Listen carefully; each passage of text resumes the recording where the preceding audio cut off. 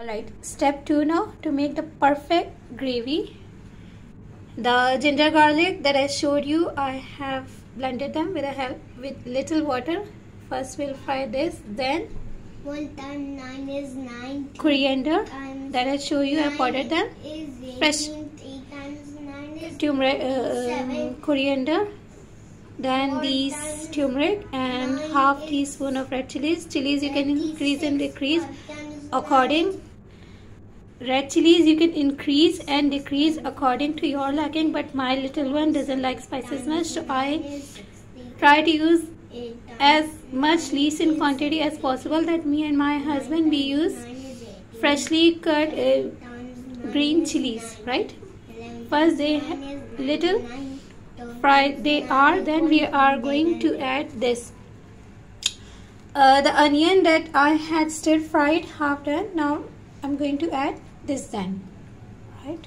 I think um, here you can have clear focus of the onion and once these ginger garlic coriander red chilies turmeric and onions have been fried then we will add this 125 gram yogurt into it.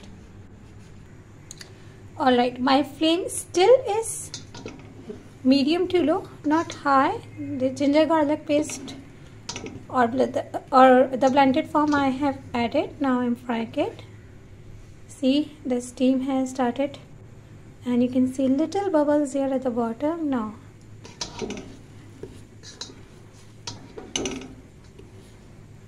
Once they have reduced all the moisture then I'm gonna add red chilies turmeric and coriander. Alright see. Moisture has been reduced I'm going to add my fresh coriander seeds along with just one stirring just one stirring then I'm going to add my red chilies and turmeric Nine, fourteen, fourteen, forty-two, forty-three, forty-four, forty-five.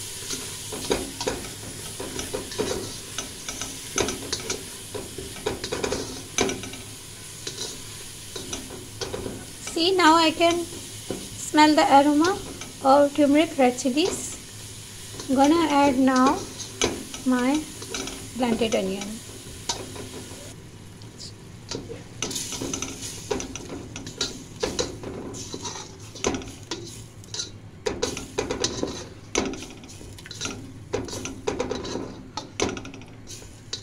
See already 60% onions had been fried previously. So only we need now to reduce this liquid and then the yogurt will be added to it. Alright keep stirring keep stirring keep stirring till you see oil separating from this mixture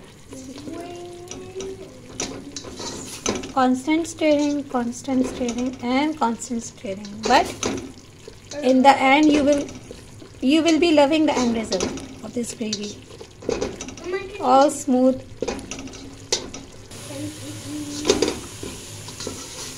See the oil has started separating from the mixture. Little more stirring then i'm going to add yogurt in, in it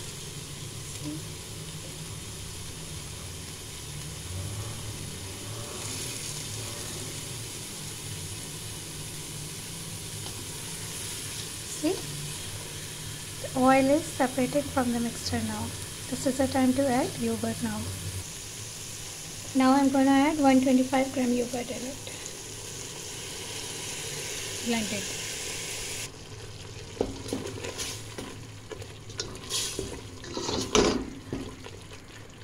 The same method the same technique keep stirring keep stirring till you see oil separating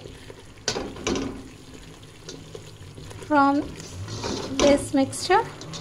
And then your perfect gravy the foundation of all gravies the mother of all gravy is cooked raw. Now this is this is the gravy in which at this stage after this frying after this complete stir, stir frying process if you are cooking fish gravy you can add fenugreek seeds carom seeds or if it's lamb chicken. So you can add spices accordingly uh, like um, cinnamon sticks uh, cloves black pepper whole black pepper to give that korma look. And if it's fish then the specifically um, uh, not to mention that um, kasuri methi fenugreek leaves that will add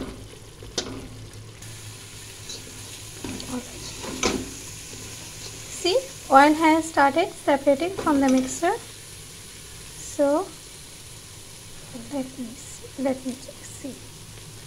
So this is a stage at which this gravy has thoroughly been cooked through. At this point you can add water. If it's vegetable gravy add vegetables according to your choice. Lamb chicken fish whatever you want. This is a foundation gravy. Mother of all gravies and a perfect gravy